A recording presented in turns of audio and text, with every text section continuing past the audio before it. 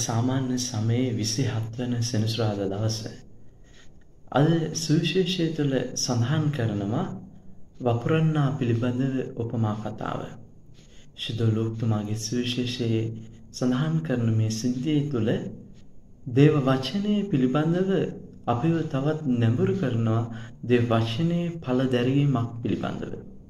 බලන්න මේ වපුරන්නාගේ උපමා කතාව තුළ සඳහන් කරන සිද්ධිය හරහා අපේ ජීවිතය ගත්තාම විශේෂයෙන් අපේ ජීවිතය තුළ සරු බිමේ වැටුණු බීජ වගේ අපේ ජීවිතය කරගත්තොතින් අපේ ජීවිතයේ පල දරණ තැනම් බවට පත්වෙනවා.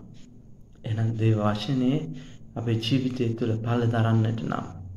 මේ පල දැරීම තුළ ස්වාමින් වහන්සේ සමග ඒ අස්වැන්න පලදැරීම නෙලාගන්නට නම් අපේ ජීවිතය තුළ දේ වශනය අපේ ජීවිතයේ ලොකු ආයුධයක් කරගන්න ඕන අපේ ජීවිතය තුළ ලොකු බලාපොරොත්තුවක් ඇති දෙයක් බවට පත් කරගන්නට අවශ්‍ය වෙනවා.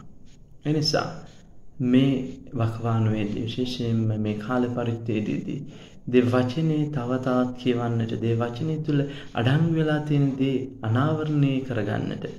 මේ මොහොතේදී මන් දේ වචනය කිවද්දී ඒ වචනය මට දෙන පණිවිඩේ මොකක්ද කියලා තේරුම් ගන්නට මට අවකාශය අවස්ථාව තියෙනවනම් මම දේ වචනය තුළ පලදරන පුද්ගලයෙක් බවට පත්වෙලා එනිසා අද දවසේදී අපි කල්පනා කරලා බලමු දේව වචනය සහ මගේ ජීවිතේ මට දේ වචනය තුළ දේ වචනය එක්ක තියෙන සම්බන්ධතාවයත් සමග ගමනක් යන්නට පුළුවන් වෙලා තියෙනවාද එහෙනම් අපි දේ වචනයට ලොකු ආදරයක් දක්වන්නට දේ වචනේ ශුද්ධ බයිබලයේ තව තවත් කියවන්නට පුරුදු වෙමු.